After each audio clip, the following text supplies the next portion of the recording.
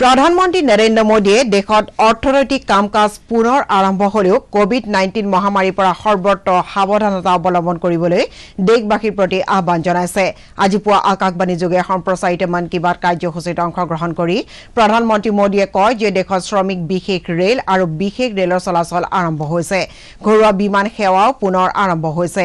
এই সন্ধিখনত মানুহে দুই গজ দূৰত্ব অক্ষুণ্ণ ৰখা মাস্ক পৰিধান কৰা আৰু যিমান সম্ভৱ ঘৰতে আবদ্ধ থকাৰ ওপৰত গুৰুত্ব দিয়া উচিত বুলিও প্ৰধানমন্ত্ৰী মোদীয়ে মন্তব্য কৰে।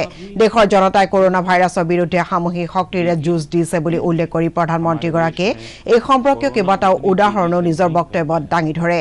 এই মহামাৰী ৰোগত দেশবাসীয়ে যথেষ্ট আহুকালৰ সন্মুখীন হ'বলগীয়া হোৱাৰ কথা উল্লেখ কৰি অনুষ্ঠানত প্ৰধানমন্ত্ৰী মোদীয়ে এই সংকটৰ পৰাই ভৱিষ্যতৰ বাবে শিক্ষা আহৰণ কৰিব লাগিব বুলিও মন্তব্য কৰে। কাৰ্যসূচীত মোদীয়ে আয়ুষ্মান ভাৰত আঁচনি কৰোণা প্ৰতিৰোধত যোগ আৰু আয়ুৰ্বেদৰ ভূমিকা বংগ আৰু ওড়িশাত তাণ্ডৱৰ সৃষ্টি কৰা উমপান ঘূৰ্ণি পাঁচ জুনত বিশ্ব পৰিৱেশ দিৱস আদি বিভিন্ন বিষয় সন্দৰ্ভত নিজস্ব মতামত দাঙি ধৰে सबसे बड़ी ताकत है वो है देशवासियों की सेवा शक्ति साथियों हमारे डॉक्टर्स नर्सिंग स्टाफ सफाई कर्मी पुलिसकर्मी मीडिया के साथी ये सब जो सेवा कर रहे हैं उसकी चर्चा मैंने कई बार की है।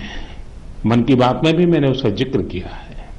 सेवा में अपना सब कुछ समर्पित कर देने वाले लोगों की संख्या अनगिनत है। मेरे प्यारे देशवासियों, एक और बात जो मेरे मन को छू गई है, वो है संकट की इस घड़ी में इनोवेशन तमाम देशवासी गाँवों से लेकर शहरों तक हमारे छोटे व्यापारियों से लेकर स्टार्टअप तक, हमारी लैब्स कोरोना के खिलाफ लड़ाई में नए नए तरीके ईजाद कर रहे हैं नए नए इनोवेशन कर रहे हैं।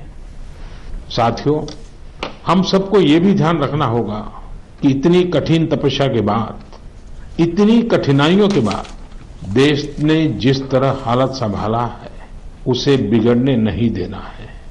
हमें इस लड़ाई को कमज़ोर नहीं होने देना है। हम लापरवाह हो जाएँ, सावधानी छोड़ दें। ये कोई विकल्प नहीं है। इसलिए दो गज की दूरी चेहरे पर मास्क हाथों को धोना इन सब सावधानियों का वैसे ही पालन करते रहना है जैसे अभी तक करते आए हैं।